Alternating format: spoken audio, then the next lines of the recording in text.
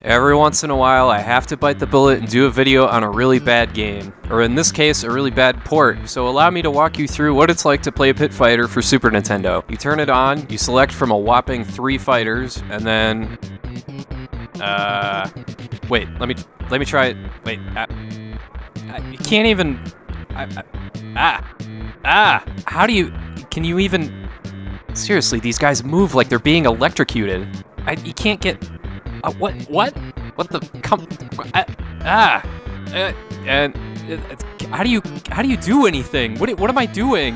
And that's it. That's the entire game right there. There's no game modes, there's no extras, there's not even any music on the title screen. Right from the get go, you see that you have less life than your opponent. Okay, what's the purpose of that? And even if you somehow manage to win the first fight and you win some cash and celebrate on a forklift, alright, your health doesn't replenish on the next fight, so you die and it's game over. So let me recap so far. Three fighters, no moves, stilted controls, bad hit detection, terrible graphics, lazy ass two frame animation, a soundtrack consisting of one song, and no other game modes at all. Actually, that's not totally true. There is another game mode, multiplayer, so you can join another person in fumbling around with whatever the hell is supposed to be happening here. And I did eventually figure something else out. The three fighters function as the difficulty setting, so the first guy is easy, the second guy is medium, and the third guy is hard. And if you try to beat this game on hard, you need to get your head examined. And have I mentioned how sick I am of this same stupid song? Usually when I make a video, I like to snag five or six tracks from the game's soundtrack and play it in the background as I'm blathering on, but here there's just that one song. And you know what?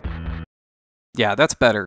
Even Nintendo Power, whose primary job is to butter up Nintendo games, crapped all over this game when it came out, calling it the worst game Nintendo had ever released up to that point, and it earned the number 5 spot on its top 10 worst games ever made list in its 100th anniversary issue. And the Super NES Player's Guide has several read between the lines quotes here. Realistic graphics together with difficult play action make this a tough game to beat? Sure, okay. I should clarify that I'm crapping all over Pit Fighter the Super Nintendo port. The original Pit Fighter arcade game is still, uh, not as bad, but it was definitely worth playing back in the day. Yeah, it's pretty simple, but it was one of the very first games to feature digitized sprites featuring real actors. It was a pretty big technical achievement, and the game itself is adequate, I guess. It's still goofy fun for 10 minutes or so until you get sick of it. The Super Nintendo port, though, I mean, this is what they considered a passable port back in 1991? What a disaster. Pit Fighter also got ports on the Sega Master System, Genesis, Game Boy, Atari Lynx, and no, I'm not playing any of those. Are you crazy?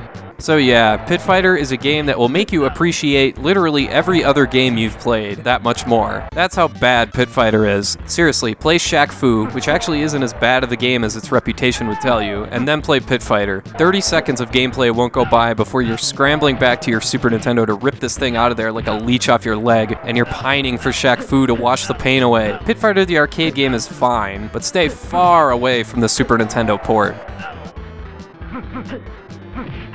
Huh?